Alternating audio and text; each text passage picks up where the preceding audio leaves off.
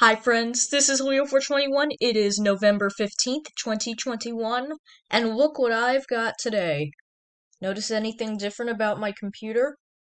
Notice anything about the taskbar? Notice anything about the picture? I have Windows 11. Yep, I have Windows 11 on my computer today as of November 15th of 2021.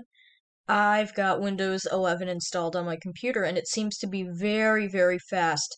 And I'm very thankful for that because on this new computer that I've had since June of this year, it was so slow with Windows 10 and now it's very fast for whatever reason.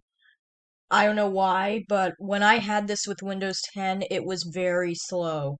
So I was like, you know what? It's time. I'm not sticking around with 10 any longer. And 10 was slow on all of my devices, actually. On all of my devices that I have, this computer, my older HP, uh, and another Dell, Windows 10 was very, very slow on all of them.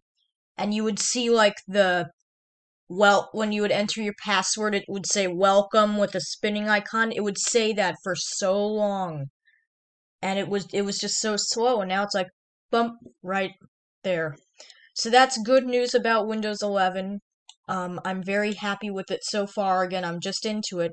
So if you'd like to upgrade, that would be very nice if you'd like to. That would be very, very nice.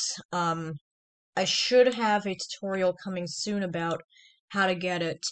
So if you'd like to see more videos, you can subscribe. If you have any questions or comments, please put those below. I'd be happy to respond as quickly as I can. And as always, thank you so much for watching. Bye-bye.